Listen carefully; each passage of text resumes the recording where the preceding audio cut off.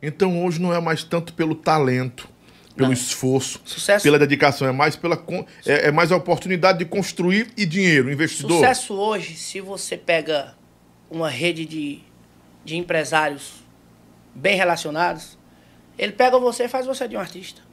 É verdade, Você não precisa cantar bem mais hoje. é verdade. Aí o cara chega pra mim e diz, Leno, você é o cara. Você canta demais. Eu digo, ô irmão, obrigado. Mas isso nunca encheu meus olhos, não. Entendeu? Tem um cara no trap hoje que tá estourado. Eu ouvi a entrevista dele no podcast, ele disse: "Eu era skatista. Eu lá queria cantar, mas eu gostava de rima. E um empresário tal olhou pra mim, viu o perfil, disse que eu tinha um perfil, o cara que tinha um perfil de trapper, né? E aí foi pra cima, eu gosto de rima, tal, fez a música e estourou. O cara tá estourado, cara. Ele disse, nunca, nunca quis ser cantor, não, nunca quis ser Ah, cantor, não. é- é- é- Mas deu certo, tô aqui. Principalmente nesse período de, de, de, de- de pandemia, Lobão, ah, ele nos fez enxergar muita coisa boa. É. Nos fez entender. Pelo menos eu mesmo aprendi muita coisa, né? Teve, teve muita gente que não aprendeu com as pisas, né? Que a vida dá. É, mas, essa- Mas- às vezes é assustador também, porque a gente pergunta pro cara assim: Mas uma hora a conta chega. é, você chega pra um, pra um artista, quantos anos de carreira você tem? Um cara, seis meses. Como é? E já cheguei lá, estourei. Aí o outro, eu tô com seis anos, cara, na luta.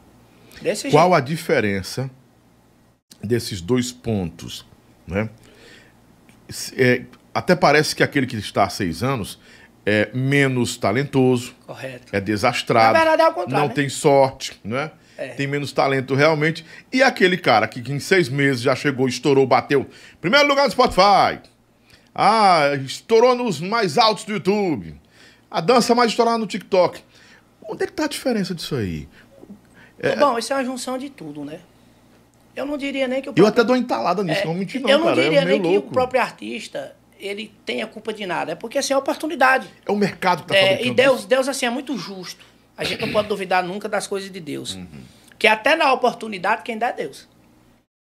Então, se, se algum artista é escolhido por tal família, por tal segmento, por tal escritório, é mérito.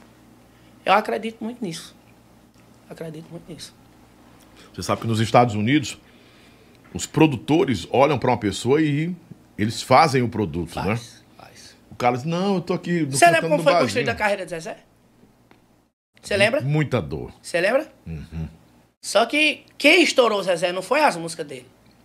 Quem estourou o Zezé foi a insistência do pai Do pai. O pai dele chegou a comprar o salário De inteiro ficha, de ficha. para começar a pedir as músicas de Zezé na rádio. Entendeu? E foi a insistência que trouxe o Zezé ao, ao sucesso. Entendeu? Naquela época já tinha Leo- Leandro Leonardo, que já eram grandes artistas, que Chitãozinho. gravavam já a música de Zezé. E Zezé vivia se perguntando.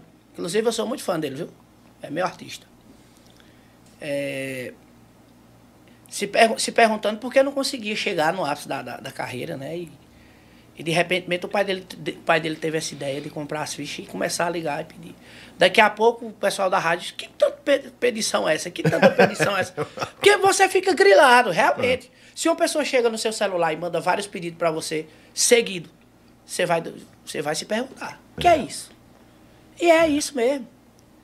Você, vo- a- às, às vezes uma coisa é dita tantas vezes que você passa a Acreditar. acreditar verdade. Hitler disse que a, a, a mentira, quando se repete muitas vezes, se torna verdade, né? Corretamente.